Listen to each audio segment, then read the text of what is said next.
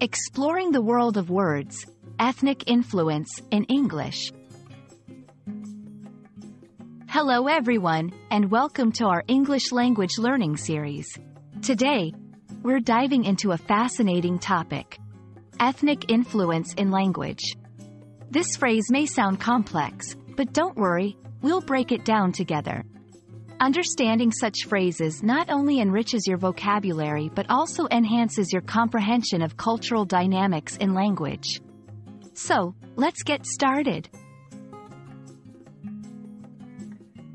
Ethnic influence refers to the impact that different ethnic groups have on various aspects of society, especially language. An ethnic group is a community of people who share common cultural characteristics, like language, religion, or customs. When these groups interact, they often influence each other's languages. This influence can be seen in vocabulary, pronunciation, and even grammar. English is a language rich with examples of ethnic influence. For instance, words like safari from Swahili, yoga from Sanskrit, or pajamas from Hindi each of these words entered English due to contact with different ethnic groups.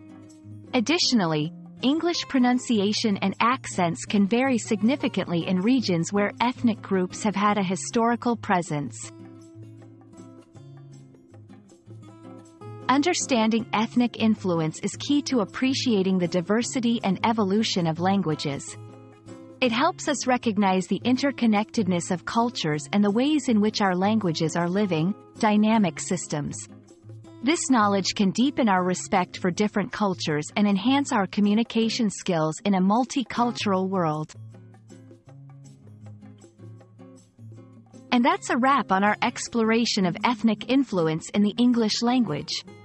I hope this video has shed light on how languages evolve and the beautiful tapestry of words we get to use as a result.